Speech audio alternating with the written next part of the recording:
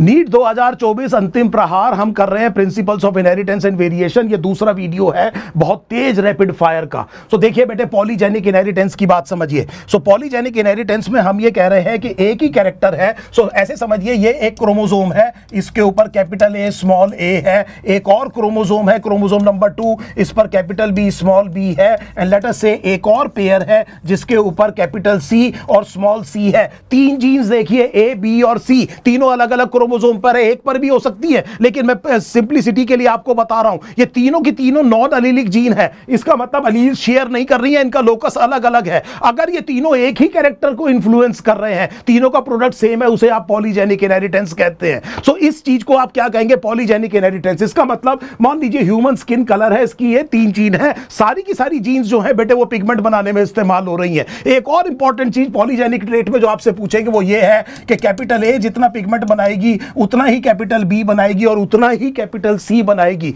इसी तरह से कॉन्ट्रीब्यूशन हर रिसेसिव अलील का भी बेटे इक्वल होगा। This is a very important thing बेटे। इसका मतलब यह हुआ कि जितनी होंगी। जितनी ज़्यादा डोमिनेंट अलील होंगी, उसमें बेटे कॉम्प्लेक्शन उतना ज़्यादा डार्कर होगा, उतना ज़्यादा पिगमेंट बनेगा। So please try to understand ये जो है, ये वाला इससे लाइटर होगा। और अगर आप देखें तो ये वाला और लाइट कलर्ड होगा। I hope you are understanding इसको मैं कहता हूँ एडिटिव इफ़ेक्ट और यहाँ पर बेटे एनवायरमेंट का असर बहुत ज़्यादा होता है। और ह्यूमन स्किन कलर में, जिसमें तीन पॉलीजीन्स है one is to six is to fifteen is to twenty is to fifteen is to six is to one ये रेशो आता है बेटे। और अगर आप इसका नॉर्मल डिस्ट्रीब्यूशन कर बनाए तो ऐसे मैंने बनाया बेटे one this would be six and this would be fifteen and this would be बेटे ट्वेंटी और अगर मैं इनके मिड पॉइंट्स को जोड़ दूँ तो बेल शेप्ड कर्व आएगा। The normal distribution curve is bell shaped so इतने सारे कैरेक्टर्स आपको मैंने बता दिए एनवायरमेंट का इन्फ्लुएंस मत भूलिएगा। एडिटिव इफ़ेक्ट मत भूलिएगा। नॉन अलीलिक जीन्स हैं। बहुत सारी जीन्स एक ही फिनोटाइप को असर कर रही हैं। और नॉर्मल डिस्ट्रीब्यूशन कर्व क्या है बेटे? बेल शेप्ड है, इसे आप पॉलीजेनिक इनहेरिटेंस कहते हैं। एक और चीज़ बड़े ध्यान से देखिए बेटे। मान लीजिए कैपिटल ए कन्वर्ट हुआ इसमें बी में। सो ये एक सबस्ट्रेट है, ये प्रोडक्ट में कन्वर्ट हुआ। ये प्रोडक्ट अलग अलग तरीके से सी और डी में कन्वर्ट हुआ। अलग अलग एंजाइम इसमें इन्वॉल्व हुए और डी कन्वर्ट हुआ बेटे ई e और एफ़ में।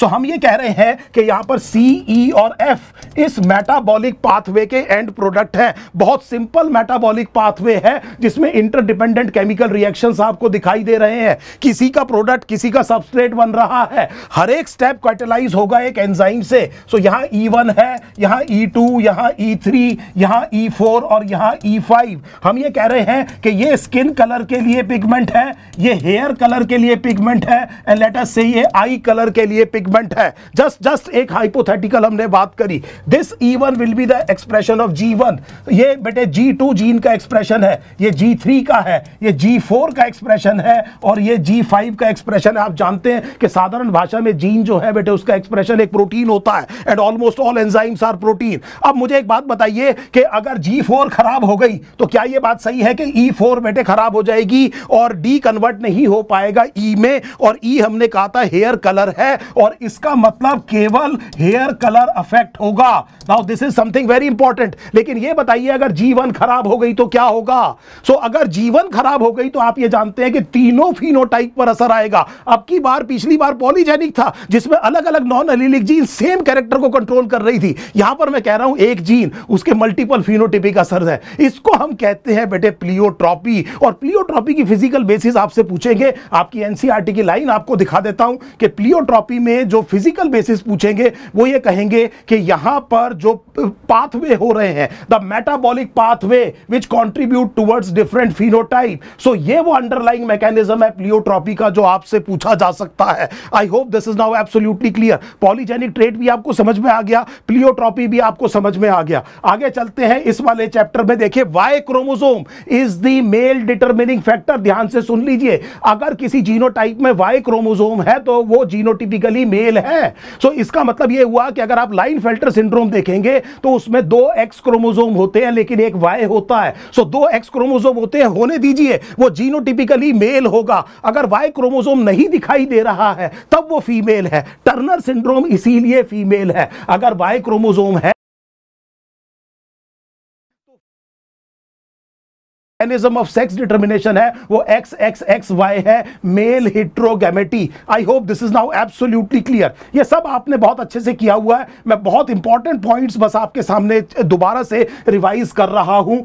पिटिगरी के ऊपर मैंने आपके साथ बहुत सारे वीडियोस को शेयर किया है। उम्मीद है आपने समझ लिया होगा। मेंडेलियन डिसऑर्डर्स के बारे में समझिए। सो मेंडेलियन इनहेरिटेंस जो होती है, जब फॉलो हो रही है तो उसमें गड़बड़ की वजह से जो डिसऑर्डर होते हैं, उसे मेंडेलियन डिसऑर्डर कहते हैं। मेंडेलियन डिसऑर्डर में एक जीन है, उसकी दो ही अलील्स है। और एक जीन, एक अलील दूसरी पर कंप्लीटली डोमिनेंट है। ध्यान से समझिएगा। मैं मेंडेलियन डिसऑर्डर की जब बात कर रहा हूँ तो जीन पॉइंट म्यूटेशन की बात कर रहा हूँ। एक जीन कंट्रोल कर रही है एक ट्रेट को, और उसमें उसकी दो ही अलील्स हैं, और एक कंप्लीटली डोमिनेंट है दूसरे के ऊपर। और इसके अलावा सेग्रीगेशन और रैंडम फर्टिलाइजेशन होता है। इस तरह के जो ट्रेट्स हैं, जो कि अपने आप को एक्सप्रेस कर रहे हैं पेडिग्री एनालिसिस में, उसे आप मेंडेलियन ट्रेट कहते हैं। यहाँ पर ये जो जीन है, अगर ऑटोजोम पे लोकेटेड है, तब आप इसे ऑटोजोमल लिंक्ड कहेंगे। और अगर ये सेक्स क्रोमोजोम पर लिंक्ड है तो इसे आप सेक्स लिंक्ड कहेंगे, क्योंकि सेक्स लिंक्ड के लिए वर्चुअली जितनी भी जीन्स है, वो एक्स क्रोमोजोम पर होंगी। तो इसीलिए सेक्स लिंक्ड इनहेरिटेंस को एक्स लिंक्ड इनहेरिटेंस भी कहा जाता है। इसके बारे में हम कई बारी बात कर चुके हैं। इस तरह के जो कैरेक्टर्स है मेंडेलियन डिसऑर्डर्स इनके लिए जीन थेरेपी ट्राई की जा सकती है। दिमाग लगाइए, मैंने आपसे कहा कि एक डोमिनेट अलील काफ़ी है। एक डोमिनेट अलील काफ़ी है। अगर मान लीजिए कोई ऑटोजोमल रिसेसिव कंडीशन है तो अगर आपने एक dominant allele normal copy of of of gene पहुँचा दी है तो वो काफ़ी होगी इस डिसऑर्डर को ओवरकम करने के लिए। तो अगर आपसे पूछेंगे तो किस तरह के डिसऑर्डर सिक्कल सेल अनीमिया इसमें आप क्या कर सकते हैं? जीन थेरेपी कर सकते हैं। क्यों कर सकते हैं? क्योंकि ऑटोजोमल रिसेसिव कंडीशन की तरह क्या होती है? इनहेरिट होती है। इससे क्या फ़ायदा? अगर आपने एक नॉर्मल कॉपी ऑफ़ अलील भी पहुँचा दी तो वो काफ़ी है। फिनोटाइप प्रोड्यूस करने के लिए एक और क्वेश्चन जो आपसे पूछा जा सकता है। एक और चीज़ बड़े ध्यान से समझिएगा बेटे, अगर चेंज इन क्रोमोजोम नंबर है तो अगर change in chromosome number is not an exact multiple of base number n तब आप उसे एन्यूप्लॉइडी कहते हैं। सो ध्यान से समझिएगा, मैं एक बार तेज़ी से लिख देता हूँ। मैंने ये कहा कि मान लीजिए क्रोमोजोमल डिसऑर्डर है, और क्रोमोजोमल डिसऑर्डर में डिसऑर्डर ये है कि there is change in number और ये चेंज इन नंबर ये है कि it is not an exact multiple it is not an exact multiple of N so N N का एग्जैक्ट मल्टीपल नहीं है. आप जानते हैं हमारे में N is equal to twenty three so एक सेट ऑफ़ क्रोमो एक सेट ऑफ़ एक सेट में जितने क्रोमोजोम्स होते हैं उसे आप क्या कहते हैं बेटे? उसको आप क्या कहते हैं? एन नंबर कहते हैं. सो so, मान लीजिए Klinefelter syndrome Klinefelter syndrome में 44 ऑटोजोम्स है और एक्स एक्स वाई है. सो so, गिन लीजिए ये नंबर कितना है बेटे? 47 so 47 is not an exact multiple of 23 Turner syndrome में क्या है बेटे? 44 ऑटोजोम्स है X O total number of chromosomes कितना है? 45 it is again not a multiple of 23 इस वाली कंडीशन को हम कहते हैं एन्यूप्लॉइडी इस कंडीशन को हम कहते हैं एन्यूप्लॉइडी और एन्यूप्लॉइडी की वजह होती है नॉन डिसजंक्शन नॉन डिसजंक्शन का मतलब है failure of the chromosomes to separate किस टाइम पर separate at the time of segregation याद कीजिए, मैंने आपको बताया था। So meiosis one meiosis two में भी ये सेग्रीगेशन फेलियर हो, ये नॉन डिसजंक्शन हो सकता है, जिसकी वजह से एन्यूप्लॉइडी प्रोड्यूस हो सकती है। और ये एन्यूप्लॉइडी में क्रोमोसोम नंबर चेंज हो जाएगा। और अगर ऑटोसोमल एन्यूप्लॉइडी आपकी एनसीईआरटी में दी हुई है तो वो डाउन सिंड्रोम है। डाउन सिंड्रोम में 21 क्रोमोसोम की तीन कॉपीज होती हैं। Total number of chromosome again 47 है। और प्लीज़ रिमेंबर बार बार मैं लाइन फ़िल्टर और टर्नर सिंड्रोम की बात कर रहा हूँ। That is again because of non disjunction event वो भी बेटे क्या है? एन्यूप्लॉइडी है but that involves the sex chromosome उम्मीद है, ये बहुत सारे क्वेश्चंस आपको समझ में आ गए होंगे। चलते चलते एक दो चीज़ें और बता रहा हूँ। Sickle cell anaemia quantitative disorder है। थैलेसीमिया बेटे क्वालिटेटिव क्वांटिटेटिव डिसऑर्डर है। सिकल सेल अनीमिया दोबारा बोल रहा हूँ। Sickle cell anaemia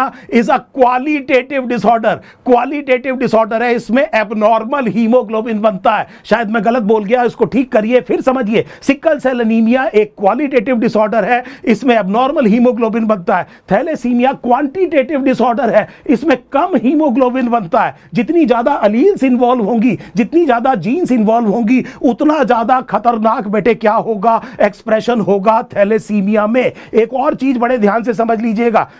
Phenylketonuria inborn error of metabolism है। Inborn error of metabolism उसको कहते हैं जो बर्थ से होते हैं। और बर्थ से एरर ऑफ़ मेटाबॉलिज्म का मतलब यह है कि उसमें एक मेटाबॉलिक ब्लॉक है। और मेटाबॉलिक स्टेप्स को कंट्रोल करते हैं बेटे एंजाइम और अगर कोई एंजाइम गायब है तो मेटाबॉलिक ब्लॉक लग जाएगा। फिनाइल कीटोन्यूरिया में phenylalanine hydroxylase absent acid है और इस वजह से फिनाइल एलेनिन कन्वर्ट नहीं होता टायरोसिन में और इसकी वजह से फिनाइल एलेनिन बॉडी में इकट्ठा होता है और क्योंकि बॉडी को किसी तरह से उसे बाहर फेंकना है तो वो कीटोन बनाती है विच इज़ फिनाइल पायरुएट और वो फिनाइल पायरुएट ब्रेन में जाकर के मेंटल रिटार्डेशन वगैरह कर सकता है। लेकिन वो यूरिन में पास होता है, इस कंडीशन को हम कहते हैं फिनाइल कीटोन्यूरिया इंटरेस्टिंग चीज़ ये है कि फिनाइल एलेनिन एक असेंशियल अमीनो एसिड है। सो अगर आप इसका ट्रीटमेंट ढूंढ रहे हैं तो बड़ा आसान काम है। डाइट में फिनाइल एलेनिन देना कम कर दीजिए। This can be taken care of इस, इससे पहले भी मैं आपसे कई बार बात कर चुका हूँ, फिर बता रहा हूँ sex link recessive disorder common होते हैं मेल्स में। मेल्स सेक्स क्रोमोजोम के लिए हेमीजाइगस होता है।